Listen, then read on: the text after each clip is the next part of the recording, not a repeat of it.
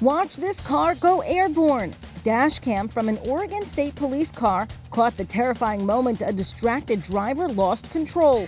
Thankfully, the driver was able to remove themselves from the car and was taken to the hospital.